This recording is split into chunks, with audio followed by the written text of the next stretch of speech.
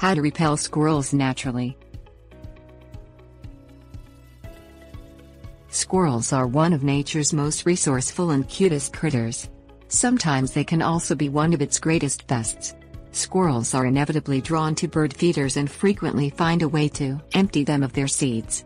Squirrels also have a tendency to get into vegetable and flower gardens, devouring any morsels they can get their little paws on.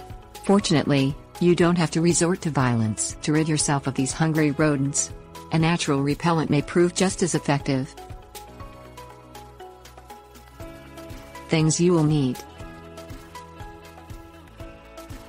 1 cup crushed chili peppers, 1 gallon water, plastic spray bottle, large plastic container with lid, dried, crushed cayenne peppers, cheesecloth. Place 1 cup of crushed chili peppers into a large plastic container and add 1 gallon of water. Attach the lid to the container and place it in a spot exposed to sunlight for approximately 7 days. See references 1. Strain the mixture through cheesecloth to filter out larger chunks of pepper. Then pour the mixture into a plastic spray bottle. Spray the pepper solution anywhere you're having squirrel problems. For example, if squirrels are invading your garden, spray the pepper water onto the plants and around the perimeter of the garden. If squirrels have infiltrated your attic, simply spray any entry points and even the floor or rafters.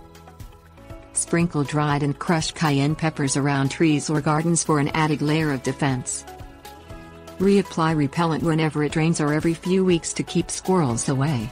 See references to. Tips Warnings Alternatively, you can visit a sporting goods store and purchase fox or bobcat urine or buy it online. Sprinkle the urine around your property to repel squirrels. Squirrels are also more apt to keep their distance if you have a house cat.